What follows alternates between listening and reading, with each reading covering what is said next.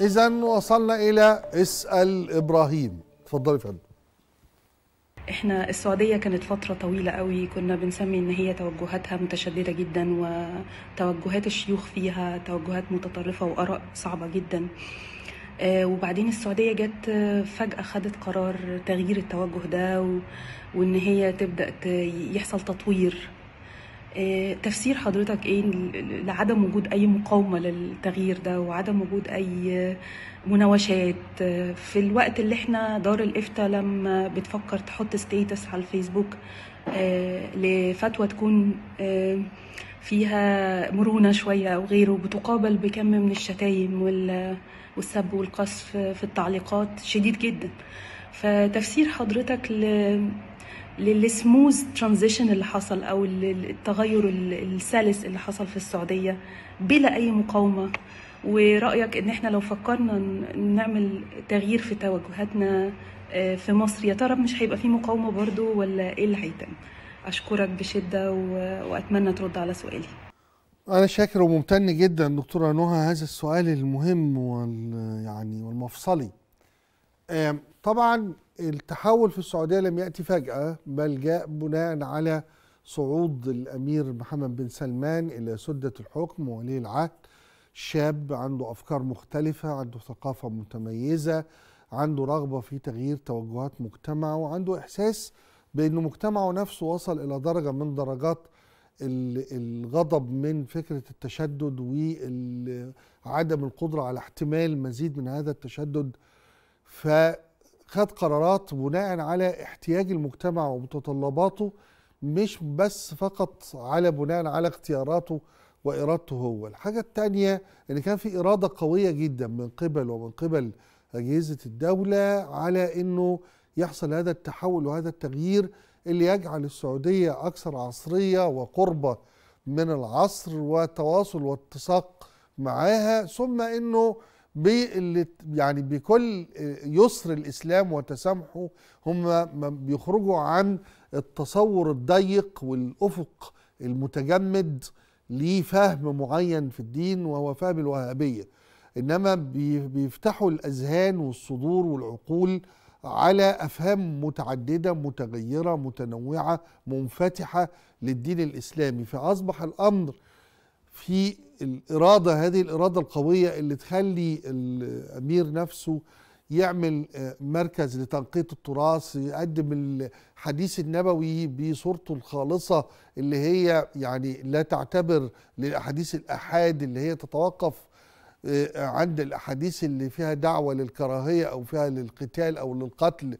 بعين فاحصة متأكدة أن لا يمكن أن يكون الإسلام أو نبي الإسلام محمد صلى الله عليه وسلم إلا نبيا للرحمة القياسات دي كلها والاجتهادات دي كلها محتاجة هذه الإرادة الصلبة والقوية والحاسمة من آه، آه، قبل الأمير الحاجة الثانية أنه الجيل المبتعثين في الخارج الجيل اللي رجع من.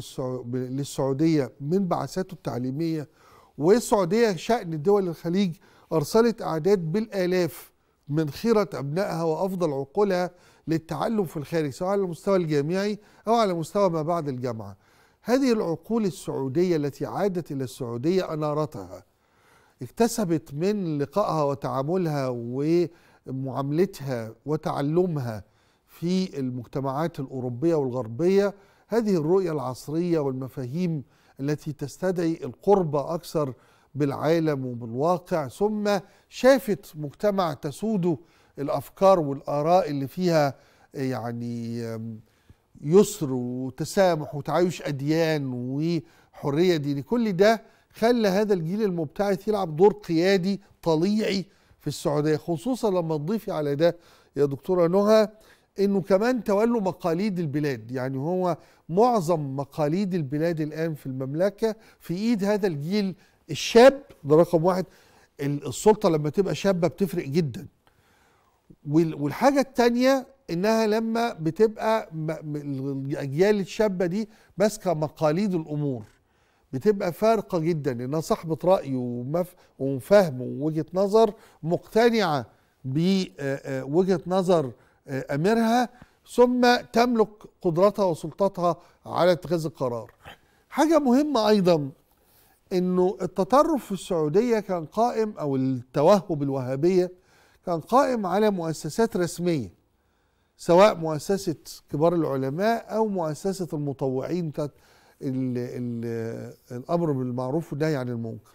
اذا هي في إيد الدولة من اللحظة الأولى حالة بث التطرف أو ال أو ال ال التجمد أو حتى الفكرة نفسها وممارستها في إيد أجهزة الدولة.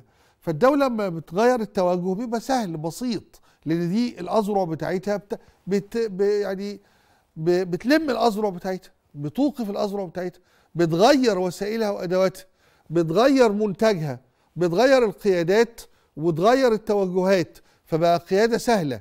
يعني مرء ليه؟ لأنه في الآخر هم دول اللي كانوا بينفذوا آدي الاثنين اللي بينفذوا هم.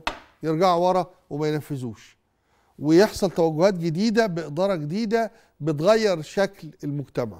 فكان هنا جزء من اليسر. بالمناسبة في مقاومة طبعا في السعودية. في مقاومة من التيار المتطرف والتيار المتشدد. لكن ويظهر على وسائل التواصل الاجتماعي زي ما بيظهر في مصر. لكن لأن المجتمع السعودي لمس التشدد فعلا عبر المطوعين وعبر الإجراءات الاجتماعية الصعبة جدا كانت موجودة.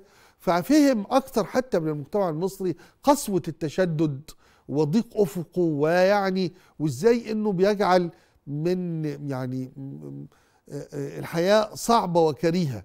طيب النقطة المهمة وهو أجيال السعودية أجيال الشابة كلها متحمسة لهذا التحول بقوة يعني إنه السعودية ما كانش فيها زي ما في مصر الإخوان المسلمين كجماعة منظمة أو السلفيين كجمعيات وتيار منظم.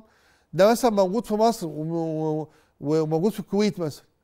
السعودية ما فيهاش دي ما فيهاش الهيئات الحاضنة للتطرف واللي بتمارسه واللي بتحوله سياسة على طريقة تنظيم الإخوان المسلمين اللي مش موجود في السعودية وتنظيم أو مش متاح له الوجود بقى في الجامعات والجمعيات والنقابات. الغزو اللي كان عمله في مصر هنا والسلفيين والغزو اللي عمله هنا في مصر. لكن كمان ما أقدرش أنكر إنه في مفاصل في الدولة المصرية منحازة للسلفيين وللسلفية. والخمسين سنة اللي أثروا في مصر الغزو الوهابي ده اللي بتتخلى السعودية عن وهابيتها المتشددة. لسه في جيوب وطوابير خمسة في مصر. الإخوان والسلفيين وبعض مقاليد يعني أو بعض منحنيات الدولة المصرية والبيروقراطية المصرية مليئة بالسلفيين. وكمان بعد النجاح الهائل اللي بيحصل في السعودية أصبحت مصر كأنها القلعة الأخيرة للتشدد وللتطرف وللتسلف فبقى وبقى كمان القلعة الأخيرة للمؤسسات الدينية الرسمية إنها تلعب دور بعد سحب السجادة منها في السعودية. فأصبح بقت مسألة حياة وجود إنه أنا لو لو اتمس لو لو لو حصل تجديد ديني أنا مش هلعب الدور الكهنوتي اللي بلعبه مش هلعب الدور المؤثر والفاعل ومش هيبقى ليا نفوذ في المجتمع. فبدافع عن وجودي مش بس بدافع عن السلفية ولا عن تسلف أو عن غلق باب الاجتهاد أو عن عن وعن. ففي عوامل متداخلة وكثيرة لكن عموما يبقى إن النتيجة نجاح ساحق في السعودية وتعطل وتباطؤ شديد وممض ومؤلم في مصر. نروح للأستاذ أحمد أبو سنة. لو نزلنا دلوقتي وقلنا للشباب هتدفع 40000 أو 50000 عشان تشتغل في الحتة الفلانية أو في المصنع الفلاني هيدفع.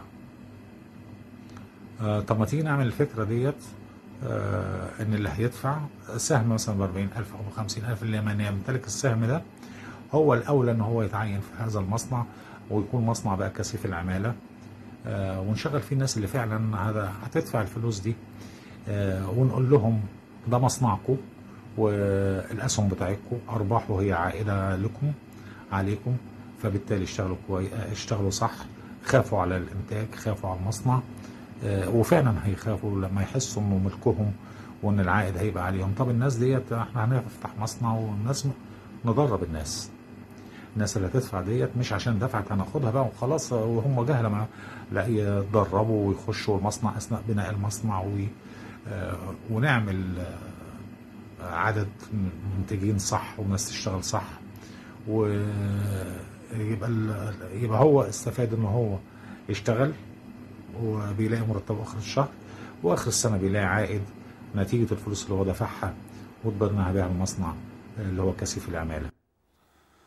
ممتاز أستاذ أحمد أبو سنة كما كل المواطنين في مصر يبحثون عن حلول وعن أفكار وعندهم أفكار ورؤى واقتراحات بيقدموها لبلدهم لتطورها لتقدمها لنجاحها لعبور أزمتها وزي ما قبل كده أشرت إلى الفكرة اللي كان المهندس الدكتور محمود عمارة بلمعية شهيده شديدة طرحها فكرة بنك الأفكار إن إحنا عندنا بنك كل يعني مصري يطرح أفكار فيه ويقعد يبقى في لجان للفرز الأفكار دي ودراستها وتقديمها ونشوف الصالح منها والبديع اللي ممكن يتنفذ وكم من أفكار نيرة وعبقرية ممكن تصدر من مواطن تتأسس وتدرس تلاقيها عاملة نقلة كبيرة جدا في حياتنا.